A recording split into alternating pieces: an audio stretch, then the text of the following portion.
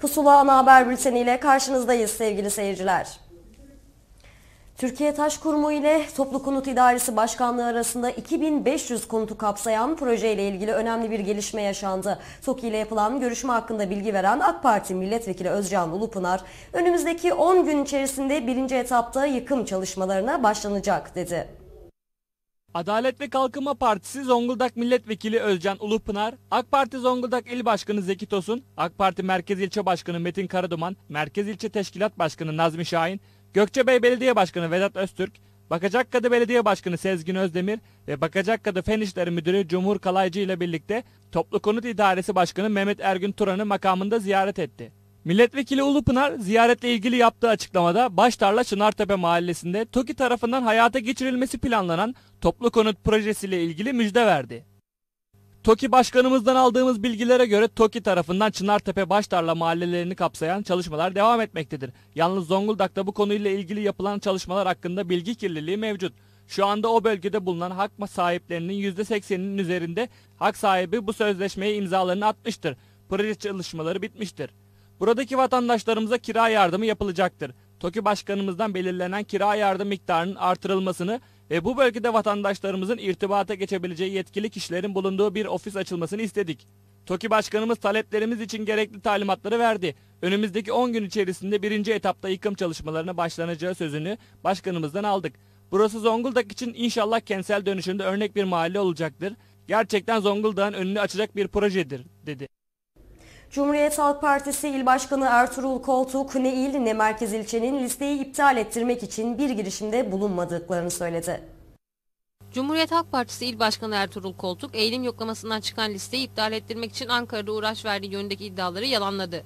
Koltuk, partililere seslenerek külliyen yalan, böyle dedikodulara, böyle söylentilere itibar etmesinler dedi. Sonuçta bir sıralama burada çıkmıştır.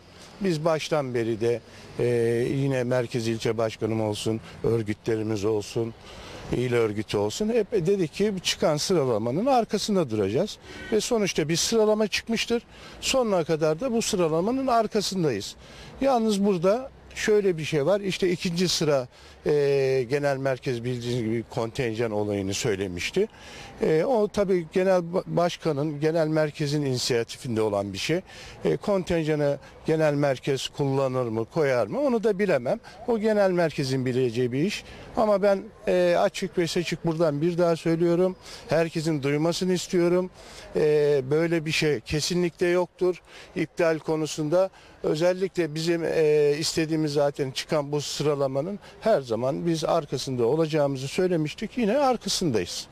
Harun Akın'a yakınlığı ile bilinen Ertuğrul Koltuk, Harun Akın da benim arkadaşım, diğer adaylar da bizim arkadaşımız. Hepsi bizim için önemli dedi. Koltuk, haberalların listeye müdahale ettiğini düşünmediğini, bunların dedikodu olduğunu söyledi. Harun Akın diyorlar, öteki diyorlar. Fakat yani ben şunu söyleyeyim. E, Harun Akın da benim arkadaşım, diğer adaylar da bizim arkadaşımız. Hepsi aday adayları partimizin sonuçta adayıdır. E, aday adayı oldular. Hepsi bizim için önemliydi. E, tabii bunlar uyduruluyor. Mesela ben e, bunun kimin söylediğini de nereden çıktığını da e, pek anlamış değilim. E, ilgilenmiyorum da yani dedikodudan öteye olan bir şey değil bu söylenti. Peki haber ağların e, eğilim yoklamasına e, ve listeye e, müdahale ettiğiyle ilgili iddialar var kamuoyunda ve partiler tarafından bu konuşuluyor. Bunlarla ilgili ne diyeceksiniz? Ya şimdi herkes bir şey söylüyor. Yani e, Zonguldak Caddesi'nde biz de geziyoruz. Bizi gören diğeri bir şey söylüyor. Öteki bir şey söylüyor. E, haberallar da içinde söylüyorlar. Ben böyle bir şey olduğunu zannetmiyorum. Yani müdahale olmadılar el ele vererek e, bu partiyi örgütlerle, üyelerimizden birinci parti yapacağız. Tek hedefimiz o. Ama ben buradan partilerime de özellikle sesleniyorum. Böyle dedikodulara, böyle söylentilere itibar etmesinler. Ee, sonuçların iptal edileceği gibi herhangi bir şey kesin ama kesinlikle yoktur. Biz de bu listenin arkasında sonuna kadar varız diyoruz. Milliyetçi Hareket Partisi İl Başkanı Hamdi Ayan, milletvekili aday adaylığı başvurusunda bulunan ve nereden aday olacağı merak konusu olan Erkan Haberal'ın adaylığını değerlendirdi. Erkan Haberal'ın Zonguldak Merkez İlçe Kongresi'nde yaptığı açıklamayı hatırlatan Ayan, Haberal'ın Zonguldak'la ilgili bir düşüncesi olmadığını belirtti. Milliyetçi Hareket Partisi Zonguldak İl Başkanı Hamdi Ayan, Ankara Arena'da yapılacak olan büyük kurultaya Zonguldaklıları davet etti. Burada 1232 kurultay delegemiz, genel başkanımızı seçecek tekrar. Ben bu vesileyle bütün Zonguldaklı hemşerilerimi, Zonguldak'ta sesimizi duyan bütün hemşerilerimizi kurultayımıza davet ediyorum. Bu kurultay 7 Haziran seçimler öncesinde Türkiye'ye verilecek olan mesajların olduğu bir kurultay olacak. Kurultay bizim için çok önem arz ediyor. Özellikle böylesi kırılgan bir dönemde, Türkiye'nin geldiği sıkıntılı bir dönemde partimizin büyük kurultayı bizler için ayrıca bir önem arz etmekte. Erkan Haberal'ın milletvekili adaylık başvurusunu değerlendiren Ayan, kamuoyunun Haberal'ın nereden milletvekili adayı olacağını merak ettiğini belirterek Erkan Bey Ankara'dan aday olacak gibi gözüküyor. Muhtemelen de aday gösterilirse Ankara'dan aday olacaktır dedi. Biliyorsunuz Erkan Bey bizim kongreler dönemimizde kongrelerimizi yöneten bir arkadaşımız yani Merkez Yönetim Kurulu üyesi kendisi.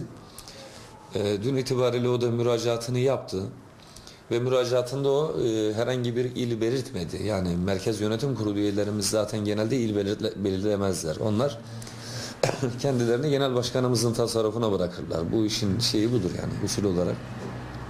Yakışanı da budur. Erkan Bey de böyle bir çalışma yapmıştır. Tabii ki yani bu nereden olacak konusu tahmin ediyorum sizin araştırdığınız meseledir. Bundan bir ay öncesine geri döndüğünüzde Merkez İlçe Kongremizde Sayın Erkan Haberal bu konulara o kongrede zaten divandan bir cevap vermişti. Yani Zonguldak'ta kendisi üzerinden yapılan spekülasyonlara bir cevap vermişti ve net olarak orada şunu ifade etmişti yani. Benim Zonguldak'la ilgili herhangi bir düşüncem yok. Ben sadece iyi bir ülkücü olmaya çalışıyorum. Ee, Biz de Erkan Bey ile görüşmüş olduğumuz e, önceki zamanlarda e, Erkan Bey'in dediğim gibi önce genel başkanımız nereye uygun görürse orada olacaktır.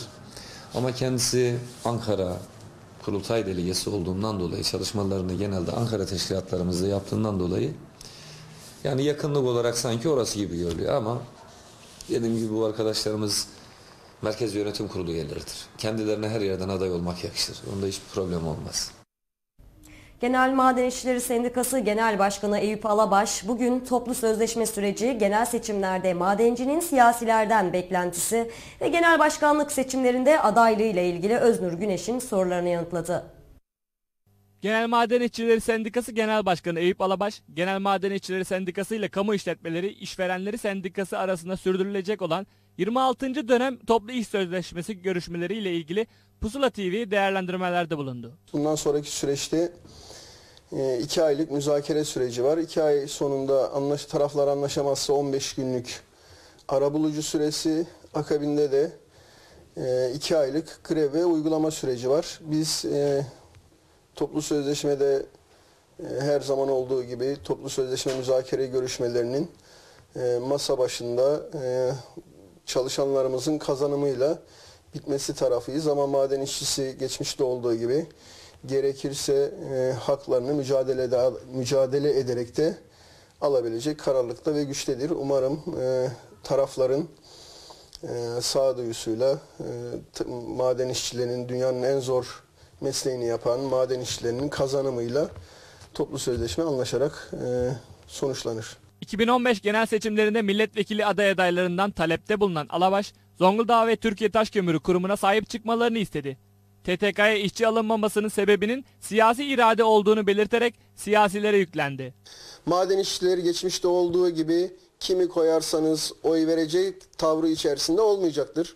Bizim beklentimiz aday adaylarından ve adaylar adaylık süreci kesinleştikten sonra siyaset yapacak, Zonguldak adına siyaset yapma iddiasında ve sevdası olan sevdasında olan milletvekili adaylarından beklentimiz Zonguldak ve Türkiye Taşkömürü Kurumu'na sahip çıkmaları. Zonguldak ve Türkiye Taşkömürü Kurumu'na sahip çıkması gerekenler siyasi iradedir. Bugüne kadar işçi alımının gerçekleşmemesi siyasi iradenin e, sorunudur. Türkiye Taşkömürü Kurumu Genel Müdürlüğü 2000, 2000 2012 yılından itibaren hatta 2013 yılında revize ederek toplam 3200 kişiye ihtiyacı olduğunu ve artık işlerini bırakın kömür üretmeyi, iş güvenliği tedbirlerini alamay- alamayacak noktaya geldiğini Türkiye Taş Kömürü Kurumu'nun belirterek 3200 işçi talebi hazineden e, yapmasına rağmen bugüne kadar bunu e, siyasi irade e, Türkiye adına karar vermesi gereken başta Hazine ve Enerji Bakanlığı bu konuda bir adım atmamıştır.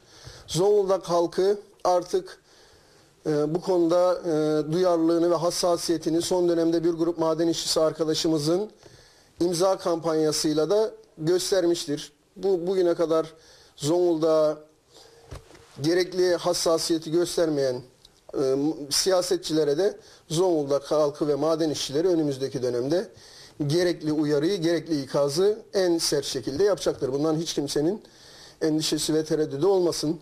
Türkiye Taş Kömürü Kurumu geçtiğimiz yıl tarihinin en az işçi sayısıyla en az üretimini gerçekleşti. Bırakın üretim gerçekleştirmeyi, iş güvenliği tedbirlerini alamayacak noktadadır Türkiye Taş Kömürü Kurumu'nun işçi sayısı. 4 kişinin yapması gereken işleri, 2 kişi, 3 kişinin yapması gereken işleri tek kişi yapacak e, konumda ve iş güvenliği zafiyetleri oluşturacak noktaya gelmiştir. E, Türkiye Taş Kömürü Kurumu'nun işçi açıkları. Maden işçileri de kendilerini samimiyetle ifade eden, Türkiye Taş Kömürü Kurumu'na ve Zonguldak'a sahip çıkabileceğini samimi şekilde gösterebilen, samimiyetine inandığı kişilere önümüzdeki dönemde Zonguldak'ta siyaset yapma izni verecektir. Biz maden işçilerinin bugüne kadar sağduyusuna her zaman güvendik. Bundan sonra da güveniyoruz. Bundan e, sonra da samimiyetine inandığı insanlara e, Zonguldak'ta maden işçileri de sahip çıkacaktır. Alabaş Genel Maden İşçileri Sendikası Genel Başkanlığı seçimlerinde adaylığı ile ilgili ise şöyle konuştu. Ben Genel Maden İş Sendikası'nın genel başkanıyım. Ee, Dolayısıyla e, genel başkanlığa adaylığını açıklaması gereken, e, açıklamama gerek e, bir durumda ortada yok. Eğer e, başkaları açıklayacaksa onlar açıklayacaktır önümüzdeki günlerde. Biz daha sonraki süreçte e, hangi gerekçelerle e, bu süreci nasıl götürdüğümüzü, bundan sonraki süreçte neler düşündüğümüzü e, daha geniş çaplı bir e, şekilde açıklarız. Zonguldak Belediye Başkanı Muharrem Akdemir, Trabzon Kültür ve Turizm Değerleri tanıtım tırını ziyaret etti. Zonguldak Belediye Başkanı Muharrem Akdemir beraberindeki ekip ile Trabzon Kültür ve Turizm Değerleri Tanıtım Tırı'na ziyarette bulundu. Bu yayık mı? Bu yayık. Bunların hepsi yayık başkanım. Yani özellikle Trabzon tereyağını Tereyağı deyince akla önce Trabzon gelir. Da yayık gelir. Kaynamış süttür, yoğurttan mayalanır. Standı gezen Akdemir ürünler hakkında bilgiler alırken ziyaretin ardından madenci heykeli ve baston hediye etti. Yaşlılıkta kullanmıyor. gençlik. Öyle bizim gibi elim gelmeyecekse. Bu güç Ahmet Başkanım. Ve dengeyi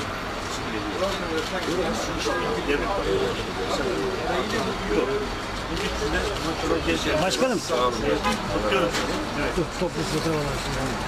Ha, bu, bunun çok ikisi de. Şimdi tren garına gidiyoruz. İskelelerin biri sökülüyor, diğeri yapılıyor. Yaklaşık bir yıl önce başlayan tadilat nedense bir türlü bitmiyor. Bir seneden beri, iki bir seneden beri burası geliyorum, gidiyorum. Ne yapılıyor? İs- İstanbul Boğaz Köprüsü'nden beraber burası şey havaalanından burası açılacak, yapılacak. Hala yapılacak. Demiryolu hattının revize edilmesi nedeniyle uzun süre yapılamayan tren seferleri geçtiğimiz aylarda yeniden başlamıştı. Zonguldak Filyos arasında hızlandırılmış tren seferlerine başlandı ama istasyonda başlayan tadilat çalışması bir türlü bitmedi. İskelelerin biri söküldü, diğeri yapıldı. Başlayan çalışmalar sonlandırılamadı. Ortaya çıkan bu görüntü farklı soruları gündeme getirirken vatandaşın tepkisi dikkat çekiyor. Görüyorsun kış şartlarında burada dışarıda durduk soğukta. Özellikle buranın çok uzun sürmesi bizleri özellikle yolcu çok özellikle Filyos yolcusunu çok mağdur etti. İki, iki buçuk yıldan beri hala tamirat halinde. Bitmedi. Yani hizmetin kötüsü olmaz ama halk mağdur edilmemeli. Yani biz mağdur oluyoruz. Yaklaşık 2-2,5 yıl olacak. 2,5 yıldan beri trenlerimiz çalışmıyor. Son bir yıl oldu trenlerimiz açılalı. Geçen geçen sene 1, 3. ayın 25'inde seçimden önce açıldı. Sabah akşam çalışıyor. Saltko ve Çaycuma e, istikametine de çalışması gerekiyor. O taraflardaki istasyonlarda herhangi bir e, çalışma kalmadığı söyleniyor. Oraların da bittiği söyleniyor ama vatandaş mağdur ediliyor bu şekilde. Artı yani şu andaki mevcut iki vagon tren yetersiz. Mağdur oluyoruz yani iş çıkışı. Çoluk çocuğu olan insanlar var. E, sabah da yolcu oluyor. Zor oluyor yani. Trenleri Allah'a şükür gene Filyos'a kadar var. Daha önceden daha beter hala otobüslerde falan baya bir şey yapıyorduk. İnşallah bekliyoruz yani bir an önce olmasını. Biz de temennimiz yani. Ama bir an önce biterse daha iyi olur.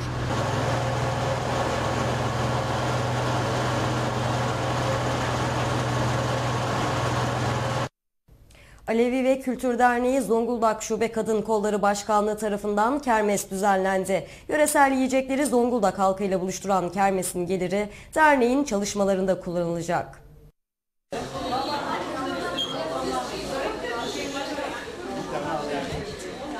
Alevi ve Kültür Derneği Zonguldak Şube Kadın Kolları tarafından canlı köşte yapılan kermese Zonguldak Belediye Başkanı Muharrem Akdemir, AK Parti 22. ve 23. dönem Zonguldak Milletvekili ve Milletvekili adayı adayı Polat Türkmen, Cumhuriyet Halk Partisi İl Başkanı Ertuğrul Koltuk, Merkez İlçe Başkanı Cemal Şahin, Milliyetçi Hareket Partisi İl Başkanı Hamdi Ayan, Merkez İlçe Başkanı Niyazi Kıransoy, Kadın Kolları Başkanı Mevlüde Yalçıner, dernek üyeleri ve çok sayıda davetli katıldı.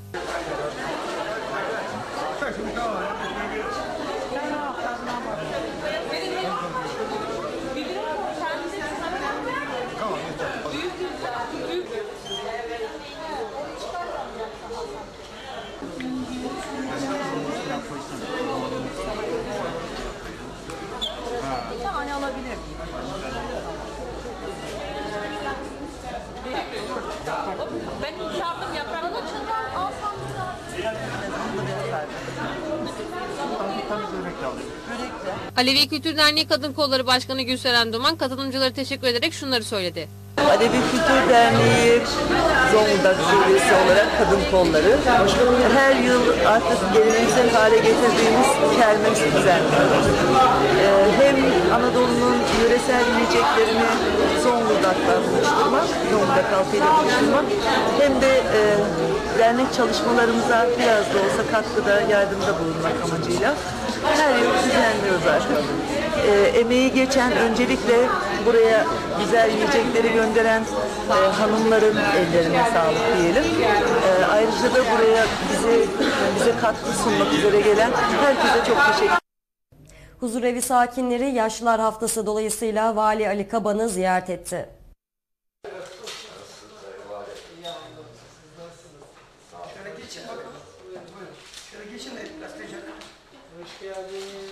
Aile ve Sosyal Politikalar Bakanlığı'na bağlı Zonguldak Merkez Huzurevi sakinleri Yaşlılar Haftası dolayısıyla Vali Ali Kaban'ı makamında ziyaret etti.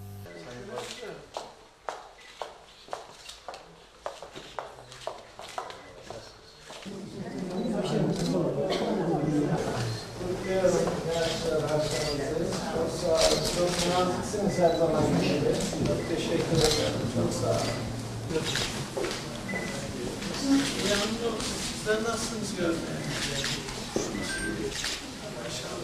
Kaban sosyal devlet projesi olarak başarıyla uygulamalar yapan bir zaman dilimi yaşadıklarını belirterek şunları söyledi. Önemli olan bu yaşlılığın başarıyla geçirilebilmesi. Yaşlılığı başarıyla geçirebilme hususunda her ne kadar bireye, her bir insana bir görev düşse de gençliğinde, orta yaşlılığında, ileri yaşlarda kendisine dikkat etmek suretiyle toplumun da devletin de sorumlulukları var. Bugün şükürler olsun ki devletimiz bu hususta hiçbir eksik bırakmayarak her tür ihtiyacı karşılama hususunda eee, hiçbir masraftan, hiçbir yükümden kaçırmıyor. Ve bunu da görüyoruz. Zonguldak'ımızda da her seferinde ziyaretimizde de sorarız. Eee, sizler de ifade edersiniz.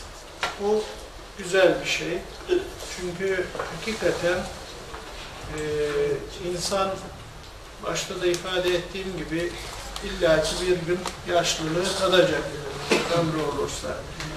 Bu yaşlılığı tattığında eğer gençliğinde gördüğü itibarı görmezse bu çok acı bir şey. Dünyanın değişik toplumlarında maalesef bugün e, insan e, kavramına değer verilmediği gibi onun bir uzantısı olarak yaşlılığın da e, değer görmediği ülkeler oluyor. Görüyoruz bunları. İşte yabancı kanallarda izliyoruz. Şükürler olsun ki ülkemiz bu manada hakikaten bir sosyal devlet projesi olarak e, yaşlıların hususunda da e, başarıyla uygulamalar yapan bir e, zaman dilimini yaşıyor.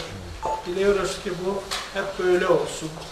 İnşallah. Ee, bize de ömür verirse Rabbim biz de sizin e, yaşlarınıza geldiğimizde bu ilginin devam ettiğini Bahçeli Evler Mahallesi'nde bir apartmanın çatısında yangın çıktı. Bahçeli evlerde bir apartmanın çatısında çıkan yangın korkuttu.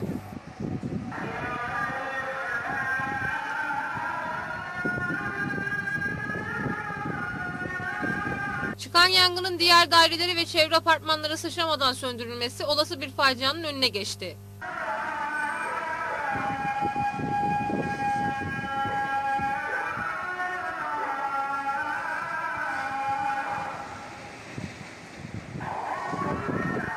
İtfaiye ekiplerinin müdahalesiyle kontrol altına alınan yangında maddi hasar meydana geldi.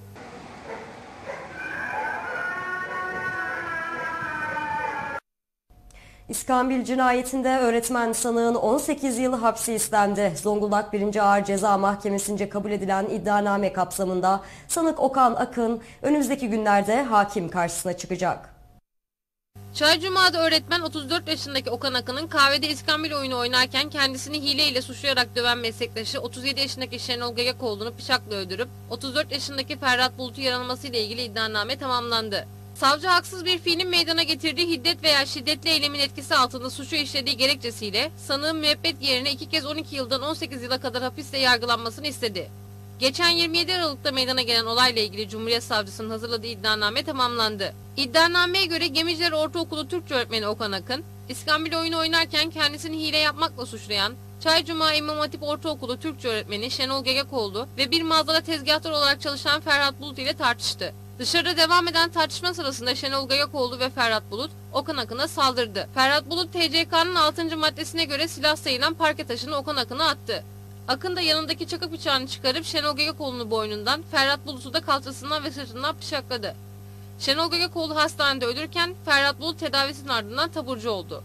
İddianamede haksız bir fiilin meydana getirdiği hiddet veya şiddetli eylemin etkisi altında suçu işlediği gerekçesiyle suçlanan sanık Okan Akın, hem Şenol Gayakoğlu'nu öldürmekten hem de Ferhat Bulut'u öldürmeyi teşebbüsten ömür boyu hapis yerine 12 yıldan 18 yıla kadar hapiste cezalandırılması istendi.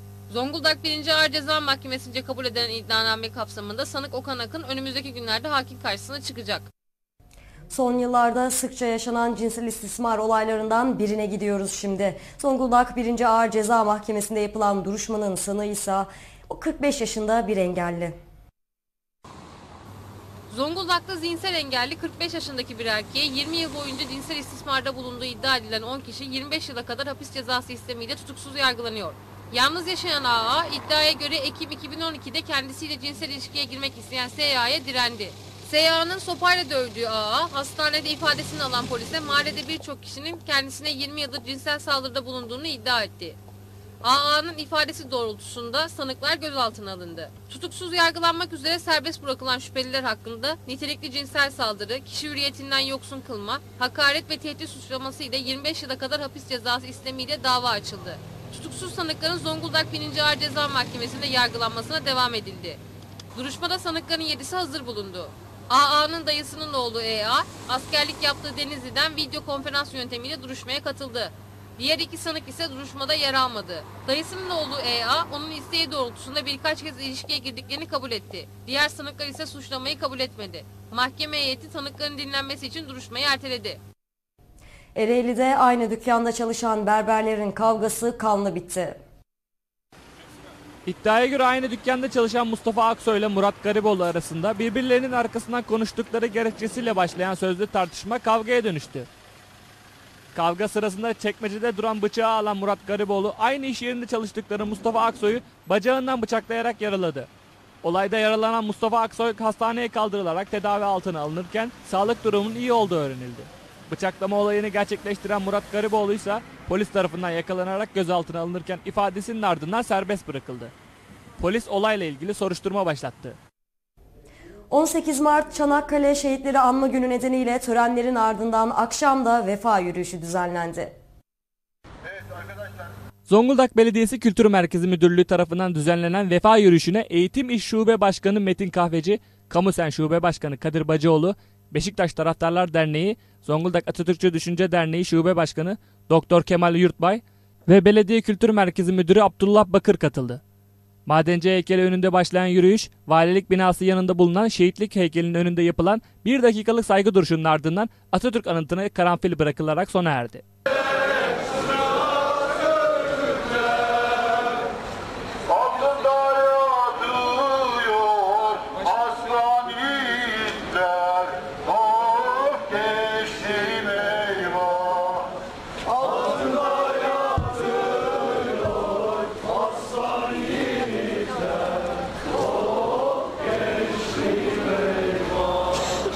Madenci heykeli önünde başlayan yürüyüş, valilik binası yanında bulunan şehitlik heykelinin önünde yapılan bir dakikalık saygı duruşunun ardından Atatürk anıtına karanfil bırakılarak sona erdi.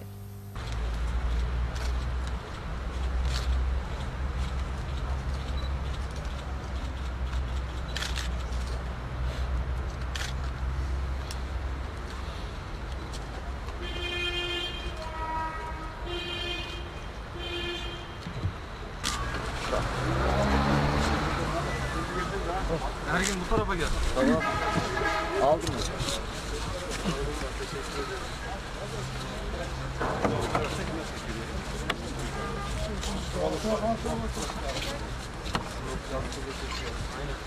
Ayrıca şu milletvekili seçimlerinden önce o adamları keşke görsem isimlerini bilmiyorum, şahısları tanımıyorum.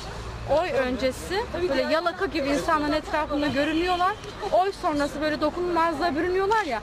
Yedi cihan herkesin hakkı haram olsun. Bu vatanda yürüyen herkesin hakkı haram olsun. Hele de bu şehitlerin hakları. Hiçbir şehidim yok ama haram. Bülent Ecevit Üniversitesi'nde hazırlıkları haftalardır süren Kampüsün Kanında Hayat Var kan kampanyası muhteşem bir finalle tamamlandı.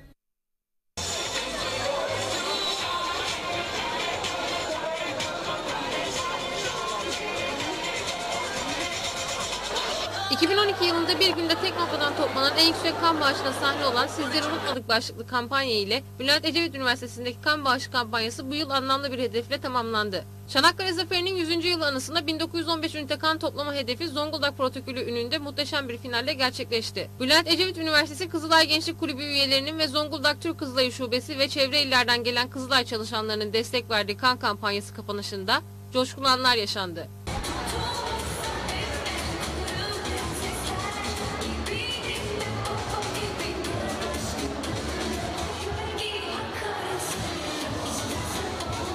Kan kampanyası öğrencilerin ve kampanya çalışanlarının tüm ihtiyaçları düşünerek hazırlandı. Arkadaşlar biliyorsunuz bugün anlam ve önemi bizim için çok önemli. Çok değerli. Çanakkale Zaferi'nin 100. yılı. Kampüsün yanında hayat öğretmenliğine bağışta bulunuyor. Liste resmi gören arkadaşların teşekkürler görevi Örneğinizde isminizi görürsünüz sonra teşekkürler görevi Havasında geçen etkinlik Türk Kızılayı'nın desteğiyle Bülent Ecevit Üniversitesi'nin kan kampanyası konusunda başarılarını taşlandıran bir organizasyona dönüştü. Hocam, hocam, başkanım.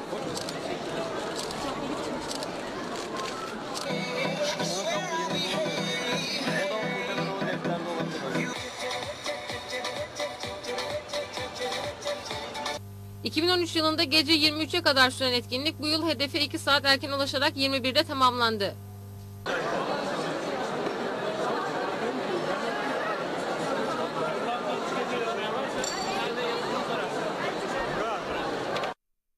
Türkiye Kamu Çalışanları Konfederasyonu Zonguldak Şubesi Çanakkale Şehitler için Mevlüt ve Kur'an-ı Kerim programı düzenledi.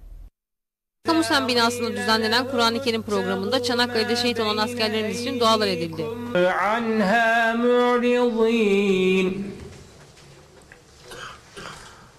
وإذا قيل لهم أنفقوا مما رزقكم الله قال الذين كفروا للذين آمنوا ما ينظرون إلا صيحة واحدة تأخذهم وهم يخصمون. وجعلنا فيها جنات من نخيل وأعناب وفجرنا فيها Kamusen Zonguldak Şube Başkanı Kadir Bacıoğlu, Çanakkale Zaferi'nin 100. yılını yaşıyoruz. Bu anlamlı güne şehit olan atalarımız için Kur'an-ı Kerim programı düzenledik. Ruhları şad olsun dedi. bir toplumun millete dönüştüğü büyük Çanakkale Zaferi'nin 100. yılını yaşıyoruz. Bugün milletimizi bölmek, Türk adını bu topraklardan kazımak isteyenlere Türkiye Kamusen olarak bir kez daha hatırlatmak istiyoruz ki mucizeler yaratan bir milletin çocukları olarak bizler vatanımız ve milletimiz üzerinde hain emeller besleyenlere karşı kullanacak bir tek silahımız olmasa bile onlara dünyayı dar edecek inanca ve iradeye sahibiz. Buna inanmayanlar için Çanakkale bir abide gibi tarihin şanlı sayfalarında parlamaktadır. Bu vesileyle Türk milletinin muhteşem Çanakkale Zaferi'nin 100. yılını ve Şehitler Haftası'nı bir kez daha kutluyor. Vatanı, milleti, ülkesi ve namusu için canlarını vermekten çekinmeyen şehitlerimize emanetlerine sahip çıkacağımıza dair Türkiye Kamu Seni olarak söz veriyoruz. Tüm şehitlerimize minnettarız, ruhları şad olsun. Alaplı'da bir otomobilin çarptığı genç ağır yaralandı. Alaplı'da bir otomobilin çarptığı genç ağır yaralandı. Edinilen bilgiye göre kaza Akçakoca Alaplı Karayolu Alaplı Yeni Köprü çıkışında meydana geldi. KA yönetimindeki 67 DV 178 plakalı otomobil Taşbaşı mevkisinde yolun karşısına geçmekte olan Kadir T'ye çarptı.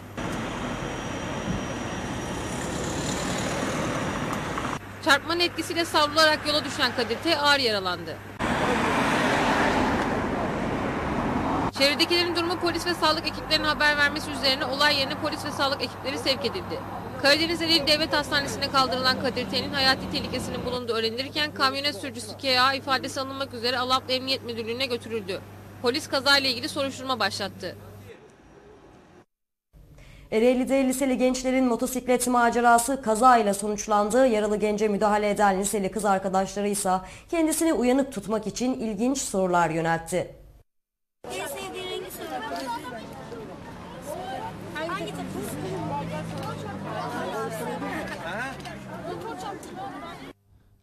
Recep Çetin idaresindeki motosiklet bisiklet yolunda ilerlediği sırada yaya olarak yürüyen Yusuf Torun'a çarptı. Sürücünün direksiyon hakimiyetini kaybetmesi sonucu devrilen motosikletin arka kısmında oturan Tunağan Çetinkaya isimli lise öğrencisi yere düşerek kafasını beton zemine çarptı. Şu an.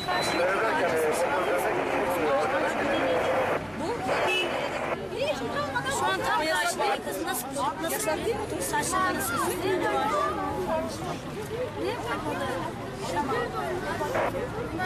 Bak şimdi Tuna, en sevdiğin rengi söyle. Hangi takım?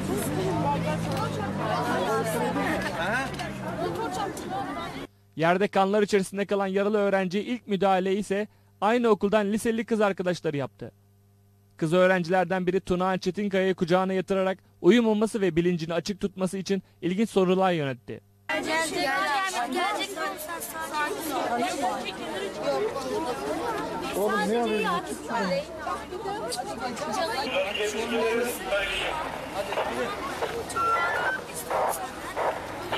Biraz sal. Kafanı rahat bırak. Sen rahat bırak. Ben seni. Gözlerini aç. Ne gün var? Ay motosiklet. Hangi ilkokul okudun? Ya burası motosiklet. Derslerin nasıl?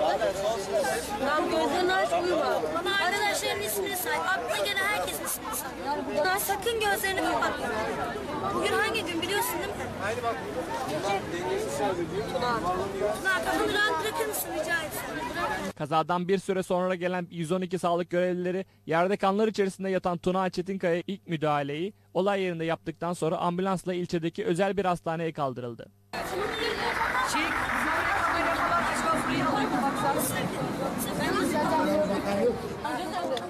Hadi. Ambulans nerede ya? Ambulans nerede? Kafanı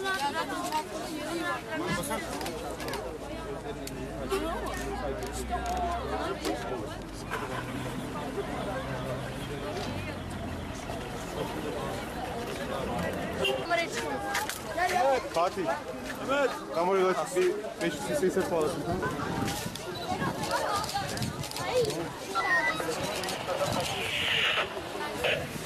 Motosiklet sürücüsü Recep Çetin ifadesi alınmak üzere polis karakoluna götürülürken kazayla ilgili soruşturma başlatıldı.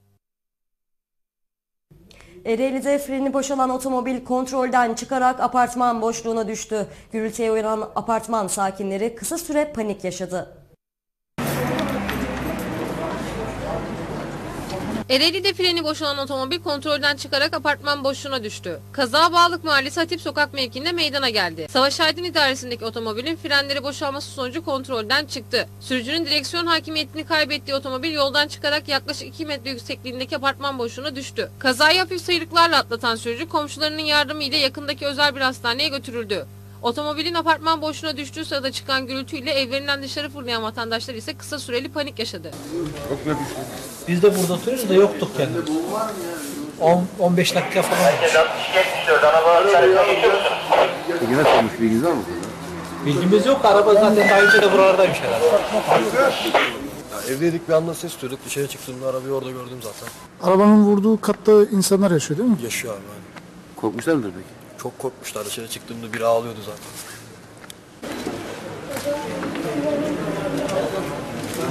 Apartman boşluğuna düşen otomobil çekiciyle bulunduğu yerden kaldırılırken polis kazayla ilişkin tutanak tutup olay yerinden ayrıldı.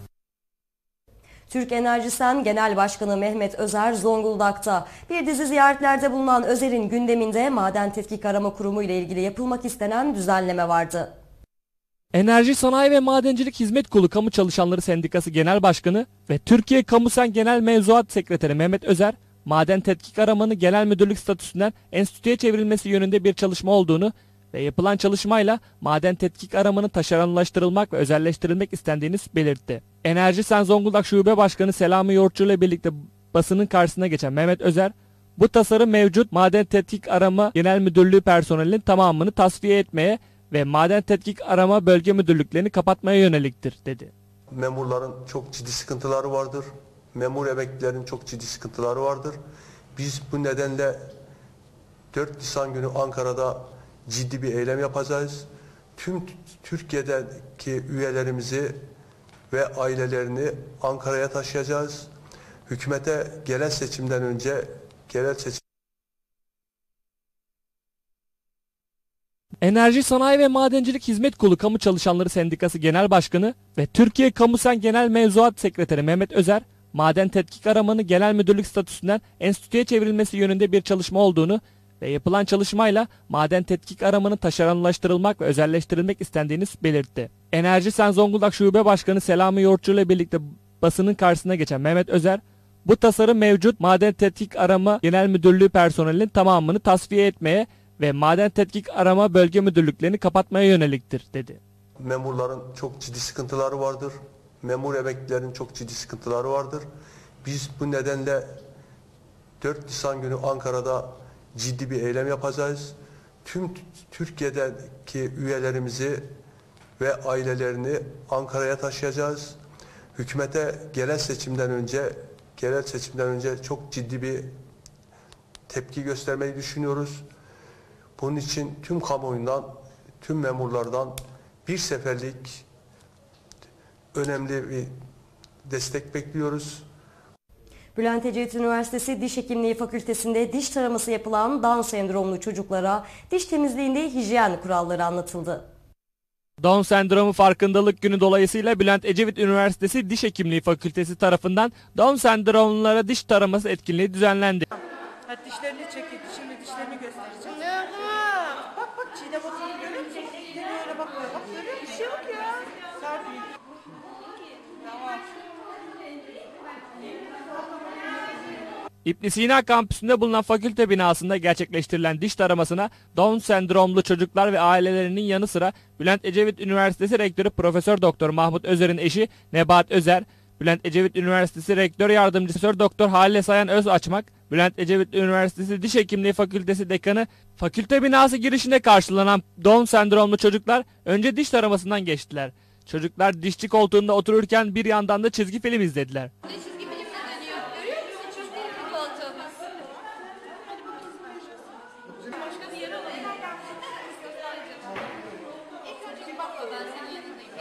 Zaman zaman korku yaşayan çocuklar taramadan sonra alkışlandılar. Tarama sonrası diş hekimliği ve hijyen konusunda bilgiler aktarıldı. Aferin sana. Ee, benim dileğim e, Down sendromların toplumda ayrıca ayrımcılığa ve ön yargıya maruz kalmadan toplumda e, yarı bağımsız bireyler olarak hayatını idame ettirmelidir. En büyük temennim ve dileğim budur. E, geldiğiniz için size teşekkür ediyorum. Hedeflere ulaşmak hem de ailelerine. Çünkü Down sendromu çocuklarda biz e, problemle çok sıklıkla. Bu nedenle çocuklara e, ve ailelerine özellikle eğitim vererek bu konuda bilinçliği artırmak ve hem onları uyumamak herhangi bir nedeniyle de yanlarında olduklarımızı üniversitede göstermek gerekiyor.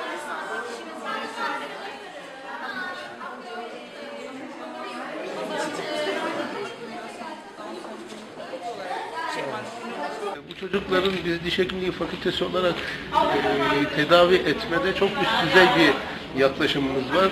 Bugün burada bunlara biraz oral hijyen, hijyen eğitimi vererek belli bir seviyeye getiriyoruz. Ama bunların e, tedavilerin yapılabilmesi her zaman mümkün değil. Genel anestezi altında yapılması gerekiyor. O da biz e, fakültemizde üst düzey bir çalışmayla bunların tedavilerinin yapılabilmesine olanak sağladık. Belki aynada görmüşsünüzdür kendi dişlerinizi ama yemek yedikten sonra mikroplar. Bunlar bizim dişlerimizi yiye yiye siyahlatıyorlar ve ağrılara sebep oluyorlar. Bu mikropları da besliyor işte yemekler.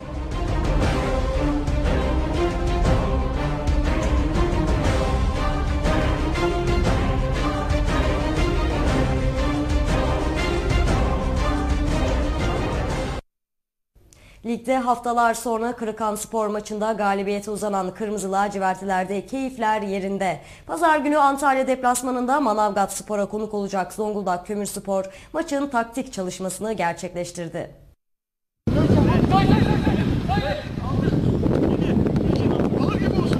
Spor Toto 3. Lig ekiplerinden Zonguldak Kömürspor'da hafta arası mesaisinde alınan Kırıkan Spor galibiyeti yüzleri güldürdü. Salı günü oynanan maçın ardından izin yapmayan Kırmızı Lacivertliler 27. hafta konuk olacağı Manavgat Spor maçının hazırlıklarını sürdürüyor. Teknik direktör Cahit Terzi yönetiminde yapılan antrenmanda oyuncular keyifli bir çalışma gerçekleştirdi.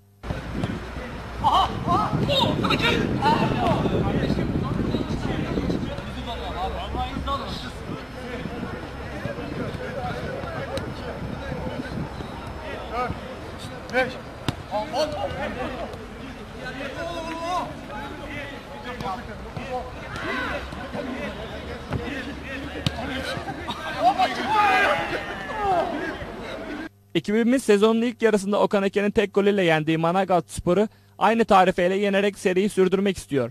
Ligin orta sıralarında bulunan ve iddiası bulunmayan Antalya ekibi düşme potasından ve playoff hattından oldukça uzak. Kırmızı lacivertli takımda kart sınırını aşan Rıdvan Okuş ve kaptan Suat Kerçin Manavgat Spor maçında takımdaki yerini alamayacak. Kırıkan Spor maçıyla cezası dolan Burak Et ve Semih Oğuz bu hafta şans bekleyen oyuncular arasında.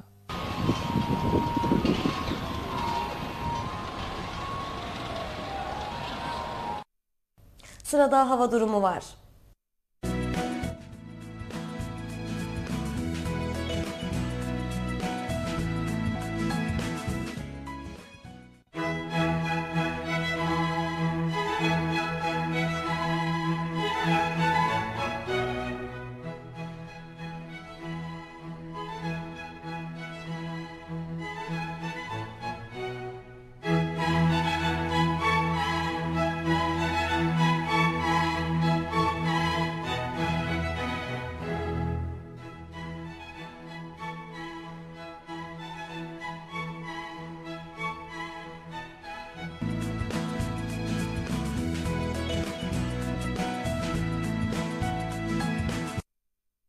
Ana haber bültenimizin sonuna geldik sevgili seyirciler. Yarın yine aynı saatte görüşmek dileğiyle. Hoşçakalın.